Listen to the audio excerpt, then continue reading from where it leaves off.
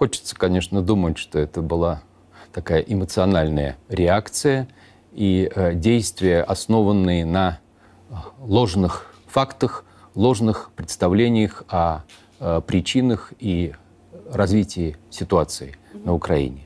Хотя э, мы видим, что во многом наши э, европейские партнеры действовали по, в скобках, в кавычках, по рекомендации или даже по указанию э, из Вашингтона, из-за океана.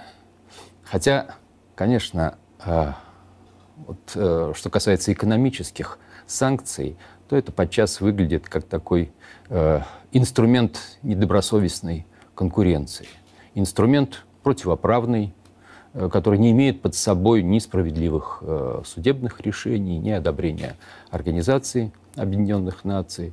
Ну а что касается таких персональных э, санкций, то мне представляется, что это, во всяком случае, в том числе и э, попытка э, ограничить э, нас э, в выражении нашей позиции и в том, с тем, чтобы ну, э, Западная Европа не слышала наших российских аргументов.